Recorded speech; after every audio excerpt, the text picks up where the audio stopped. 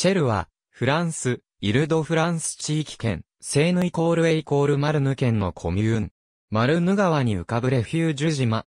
自然保護区となっている古い墓地に囲まれた、サンタンドレ教会1780年のカッシーニ地図に書かれた、シェルシェルは、フランス国道のゼロ地点であるパリのノートルダム大聖堂の東約 80km にある。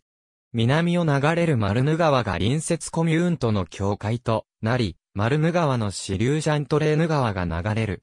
かつて、コミューンの北部は、湿地で覆われ、いくつかの小川や支流が横切っていた。コミューンの標高最高地点は、シェル山地と呼ばれる丘陵である。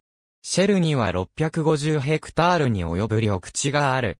6世紀、この地は、ビラカラと呼ばれていた。580年、トゥールのグレゴリウスは、将来のシェルとなることを予想させる空の名を用いていた。しかし他の研究者たちは、シェルとは、ラテン語でスケールを意味するスカラから派生したとしている。この名前は時間の経過とともに変化していった。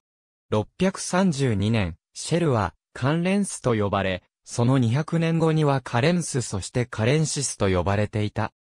811年には、カラとなり、40年後には、ケールとなった。1026年には、カラスとなり、次の世紀にはチェラ、そして、ケールと呼ばれた。12世紀には、スケーレンシスとなり、スラ、スカーラ、または、スカラーとなり、最終的に1346年に、チーアルとなった。1388年から、町の現在の名は徐々に登場するのみとなった。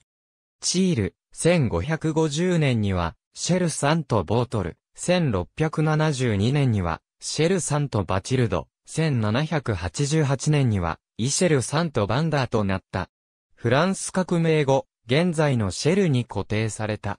オルドワン石器が、コミューンの周辺、特に、シェル山地で見つかっていることから、古くから人が定住していたことが分かっている。1902年、古いガリア人墓地がスフランス礼拝堂と呼ばれる場所から発見された。この場所から人が家畜を飼っていたり、小麦や大麦を栽培していたことを証明する道具が見つかった。ここでの貿易はマルヌ川一帯に広がっていた。21世紀初頭に行われた発掘では、公衆浴場や神殿といったローマ時代の建築物が見つかった。紀元前6世紀、ガリア人、特にメルディ族とパリッシー族の侵略が始まった。このことをガイウス・ユリウス・カエサルはガリア戦記に記している。2世紀にローマ化が進み、集落や村が大きくなっていった。シェルは都市パリに達する教会より前にある都市であった。6世紀、クロービス一世によってシェルは王家のビラとなり、王はサンジョルジュ教会を建てた。この後のシェルはネウストリアに長く属すことになり、イルド・フランス有数の王立ビラとなった。584年、クロビス一世とクロティルダの孫である、キルペリク一世が、シェルで暗殺された。クロタール二世はシェルを、下記の住居とした。7世紀半ば、クロービス二世の王妃、バティルダは、数年間摂政を務めた後地位を追われ、シェルへ追放された。彼女は656年にシェル修道院を創設した。8世紀後半、ピピン3世の娘で、カール大帝の妹にあたる修道女ジゼルは、修道院に新しい建物を建て謝辞室を寄贈した。ここでは、修道女たちが多くの本を執筆した。798年、シェルで、カール大帝とその家族が休暇を過ごした。ルイ6世時代、シェルは、コミューンとなった。百年戦争では、町と修道院は略奪の対象となり、飢饉が一帯を襲った。シェルから逃亡した修道女たちは、パリへ避難した。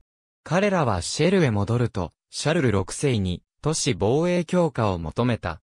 1202年、サンタンドレ教区が買収されたことで、13世紀からシェルの領域の大半が女性領主の支配下に置かれた。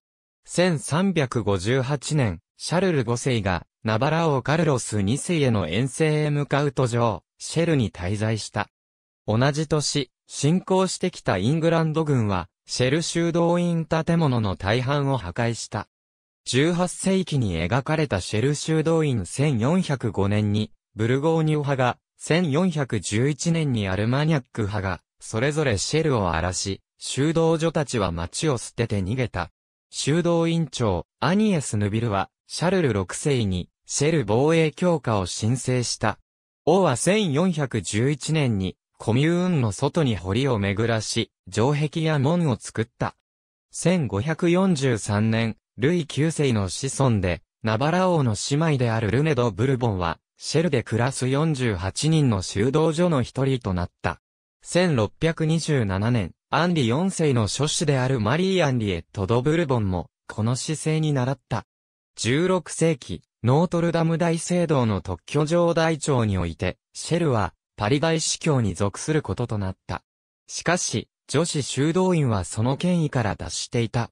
18世紀初頭、摂政である、オルレアン公フィリップ2世の娘、ルイーズ・アデライド・ドルレアンがシェル修道院の委員長となった。シェルは事実上王宮となった。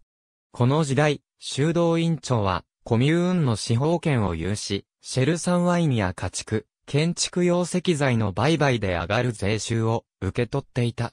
1790年、修道院は当局の圧力を受け、1796年に国有化された。その後略奪され、破壊された。